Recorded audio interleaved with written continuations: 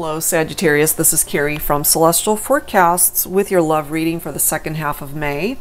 From May 16th all the way through the 31st, general advice as always, so please keep that in mind throughout your reading and release what doesn't make sense for you.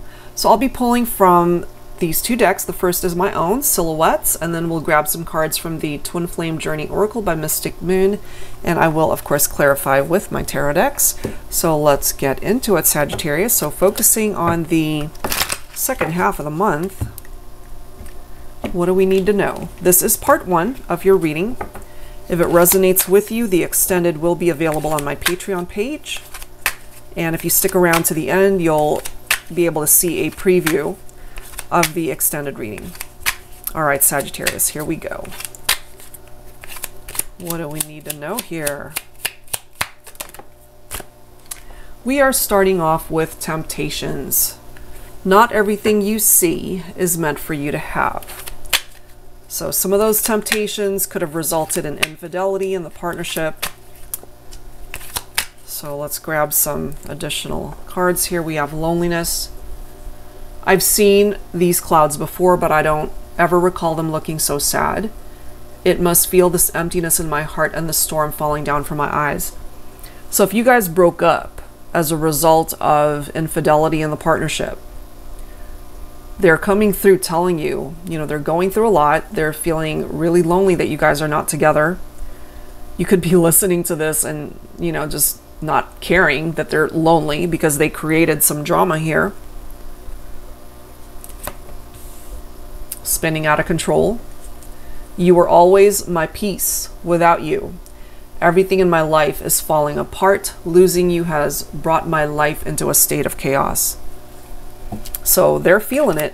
They're definitely feeling it because you guys are not together at this point in time.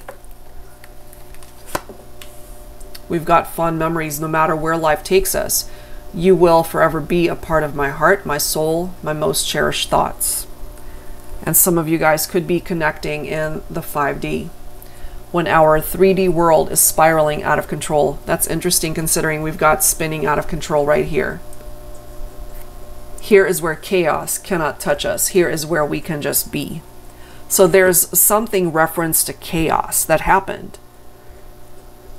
And sometimes that chaotic energy could be a tower moment that you guys have experienced, some sort of upheaval in the relationship that might have contributed to a breakup or a separation.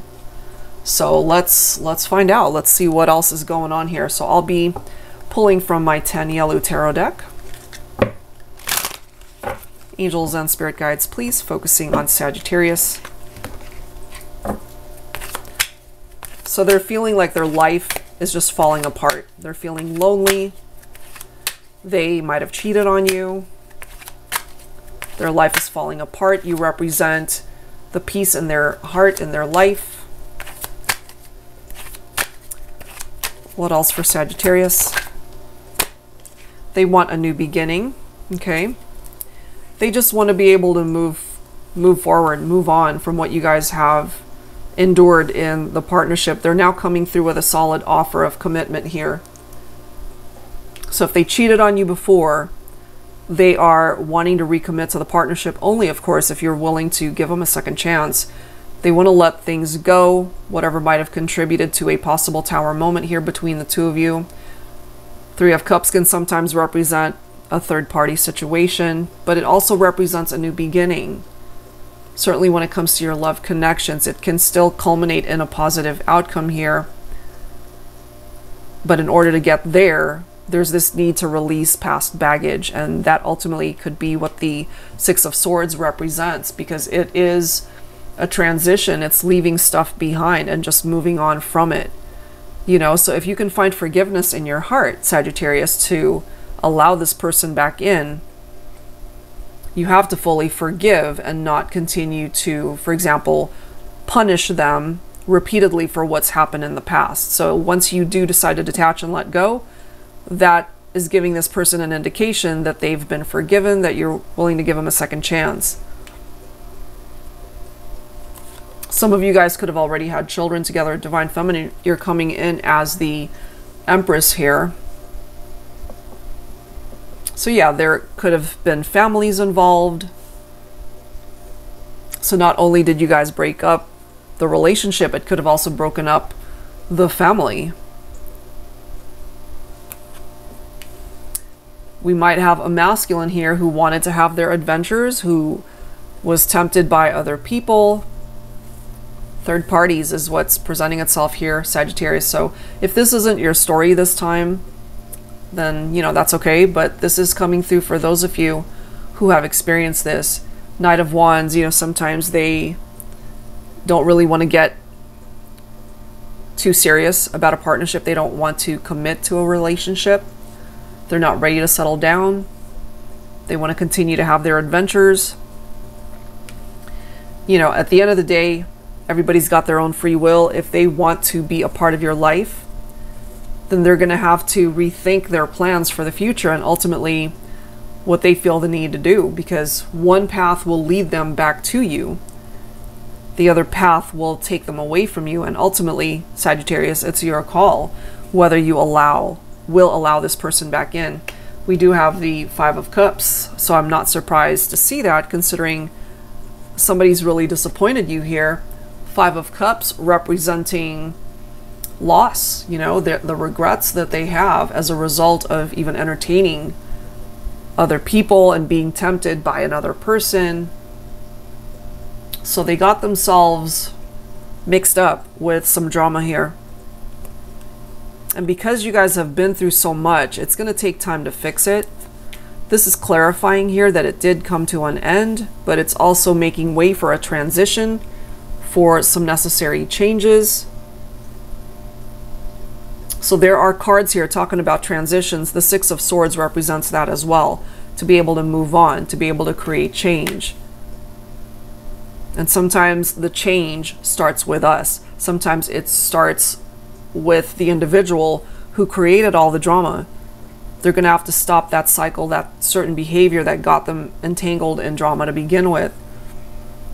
So the death card here, yes, it represents something that came to an end, but it could also represent a fresh start through changes that have been made in order for that fresh start to actually matter.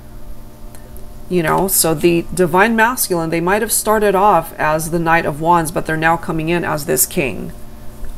Kings are ready for commitment. They're ready to manifest something pretty solid in the relationship, you know? King of Pentacles could be someone who's well established in their career, financially, they're good to go. The King of Pentacles is the type of partner that will stick around. Long term commitment, you know? But clearly, this was a part of the equation cheating, infidelity, betrayal, deception that was a part of the drama. And so, whoever did the cheating might be feeling really lonely because they're not with you and they've got regrets and they want to fix this. Okay? So, let's see what else needs to come forward. Sagittarius. Angels and spirit guides, please. What else do we need to know? for the second half of May.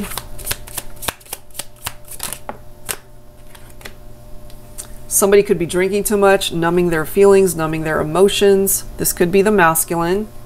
And divine feminine, you know, maybe you've just decided to go in a whole different direction. Look at this, we have commitment. So this can, of course, also apply to somebody who's not ready to accept someone back in. There are opportunities for change, for new beginnings here, ready for commitment. That's the King of Pentacles, you know, ready for commitment, not wanting to deal with the drama of the Seven of Swords. So I feel there's the opportunity for you guys to move forward, to get onto the same page. Look at this. Somebody wants you back. Somebody wants to return. Somebody wants a reunion, and they're telling you here they're ready to commit, which we've already seen that. But maybe you're feeling stuck. You know, maybe you're not quite sure whether you want to take them back. This tribe could represent the family dynamic. Some of you guys could be single parents, you know, and you're not quite sure if you want your significant other or your ex to return because they messed up. So let's let's dig a little bit deeper here. I'll be pulling from my Valentine Connection Tarot. Somebody clearly wants to return. We do see that here. I'm just feeling Sagittarius. Some of you guys are not sure if you want to take them back.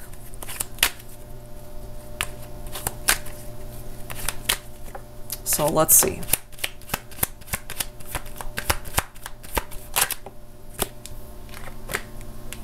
The King of Wands. Another king coming through. So this is a masculine who has a very clear idea and vision of what they want to manifest with the feminine.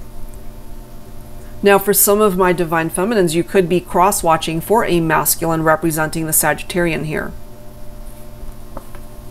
You guys have clearly been through something. Five of Swords, the conflicts, the tension in the relationship. And sometimes, you know, this card can represent an individual who is sneaking around, you know, not wanting to get caught, doing something shady. And that's clarified by the moon. Some of you guys could be dealing with a Pisces here.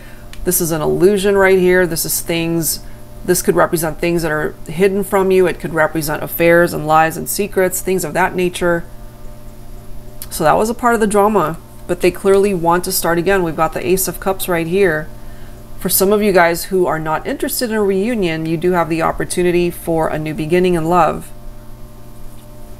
You could be dealing with a Leo as well. Somebody's definitely caught up on the memories from the past and what you guys have shared together. They want a reunion. They, they truly do.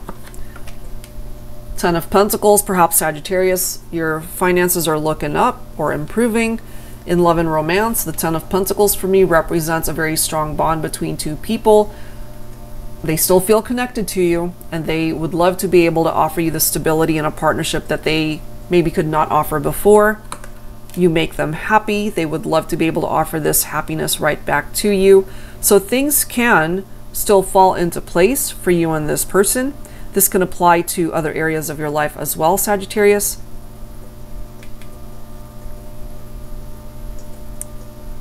So it may not have to be over, but I feel there's a lot here that's riding on your shoulders, whether you will give somebody another chance, give them another opportunity to return, that's totally your call. It's either that or you go in a new direction to find happiness, and you will you're not going to have any, any issues finding love again. But clearly, there's someone from your past who's taken a look at their actions, their behavior, and they want to fix this. They want to make amends. So they, they want to come back. You guys have experienced that tower moment, but they're telling you here look at these cards Six of Pentacles, Ten of Cups, the Star. And then we've got the Fool. They want a new beginning. They're being guided back to you. They're ready for commitment. Some of you guys, again, might have already had children or a family together, or you were already married and went into separation because of infidelity. This person who wants to return is ready to invest in the relationship fully, to meet you halfway, to do their part in the relationship. It's up to you if you allow them the opportunity to do that. Okay? So I'll leave part one here. Stay tuned, stick around for a preview of the extended reading. And if you'd like your own personal private reading, Sagittarius, that info is down below. I'll see you next time. Be the person that ended up hurting you, wanting to send you a message. Okay, I'm not surprised to see these cards though. We have tarnished, depreciated, and devalued, diminished. And then we have love lessons, karmic connection for some of you guys, this person that's coming through in the first part as well as the second part of this reading, you could have been dealing with a karmic partner and there could absolutely be a lesson tied into that whole experience. Okay? We also have time presenting itself, waiting, delay, patience. So if they are, for example, waiting to communicate with you, if you are waiting to hear from them for some of you guys, there is some sort of delay coming through there. And when it comes to the person who wants to return, they just have to be able to move in slowly rather than fast and furious, you know? I feel this is, as we can see, it's going to take time because you guys have been through some pretty challenging stuff, you know? So let's go ahead and clarify with some tarot. I'll be pulling from my Luna Tarot for your extended reading, Sagittarius. Hopefully they've learned these lessons because I feel they were mostly responsible for the breakup here. Look at this. They want to get things moving quickly, but there's a reason why there's a delay in that. Maybe because you don't want things to move quickly. Maybe because you feel the need to be able to think things through. Need a little bit more time to decide whether they even deserve the opportunity to return. You know? Let's see what else. So, yeah, they're going to have to be patient. But they clearly want a new beginning